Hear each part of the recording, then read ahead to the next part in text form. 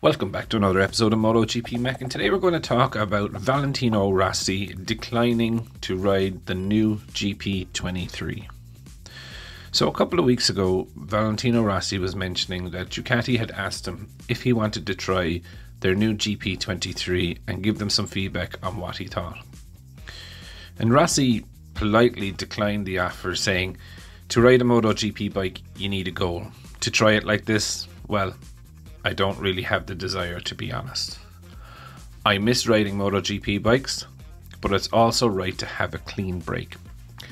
Now, I do in parts believe what he said there, but you know, it may be right that he just enjoys riding his R1 around um, different tracks and racing his cars. And maybe he's right, you know, coming back to to test a MotoGP bike on a one-off test with nothing really going on. Maybe that doesn't interest him. But I personally think there's more going on behind the scenes and I genuinely believe that Yamaha and Rossi will team up to run a satellite team in 2024. And why I believe this is a couple of reasons.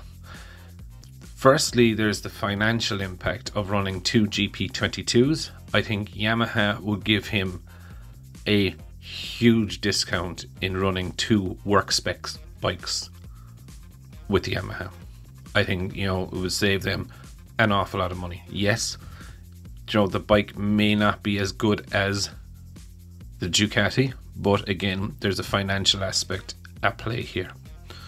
Also, I think there's something going on between VR46 team and Ducati. Now, Ducati came out earlier in the year and said, We're going to run eight bikes next year. Four will be GP 23s and four will be GP22s. So the factory team and Pramac will have the GP23s, and Gresini and VR46 will have the GP22s. Now, I found this okay, I could understand it, but what I find more interesting is that Rossi's VR46 team recently came out and said, Oh, we requested to run GP22s and not 23s.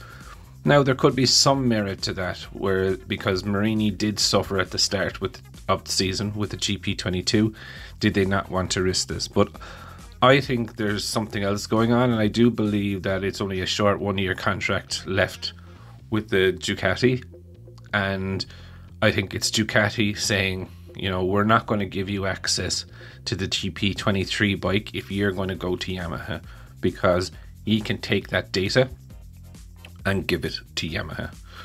Uh, so personally, that's what I actually think is going on behind the scenes. I think, if I'm honest, I think 2024 Yamaha and VR46 will team up, and Ducati are protecting their IP and what they're working on because realistically, by the time Rossi's lads throw the leg over the Yamaha, you know, the GP22 will be two years old already, so it will be a little bit outdated in what they're working on. But I would definitely love to know your thoughts. Do you think Rossi and Yamaha are going to team up and run a satellite team in 2024? Definitely leave your thoughts in the comments below, and I'll be back again tomorrow with another video.